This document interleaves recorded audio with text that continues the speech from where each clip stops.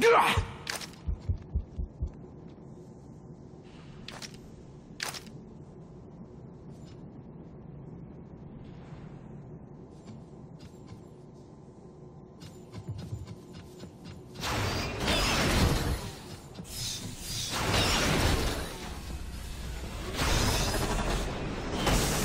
You're not the only scientific genius around here, Tony.